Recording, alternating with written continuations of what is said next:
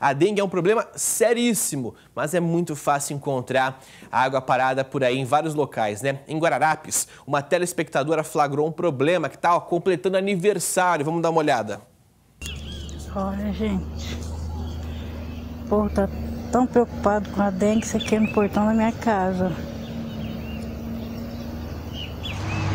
Prefeito já liguei várias vezes, ninguém resolveu isso até agora.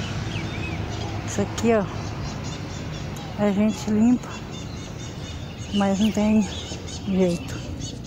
Que situação. Me dá as imagens novamente sem áudio para compartilhar com quem está em casa. No detalhe, está observando que é próximo ali a uma esquina. O que acontece? Não tem para onde a água escorrer, né, gente? Não tem como ela escoar, então ela acaba acumulando, como a gente está vendo. Um prato cheíssimo para o mosquito Aedes aegypti. Hoje cedo a gente cobrou a prefeitura prefeito Tarek Dargan lá, pedimos uma resposta para ele e o diretor de obras já foi no local agora cedo e constatou que vai ser preciso fazer ali um sarjetão para que a água escoe normalmente, né? Abrir então ali esse trajeto para que a água consiga, a água consiga escoar. Bom, o detalhe é o seguinte, né, gente? Aquela história, tudo que envolve obra, tudo que envolve um procedimento um pouco maior, prefeituras da região não conseguem nunca dar uma data para gente, mas vamos ficar de olho, viu? O telespectador, a repórter que mandou para gente, fica de olho, cobra que a prefeitura prefeitura, que a gente está de olho também acompanhando em detalhes. Qualquer novidade, a gente mostra a solução aqui no nosso programa, combinado?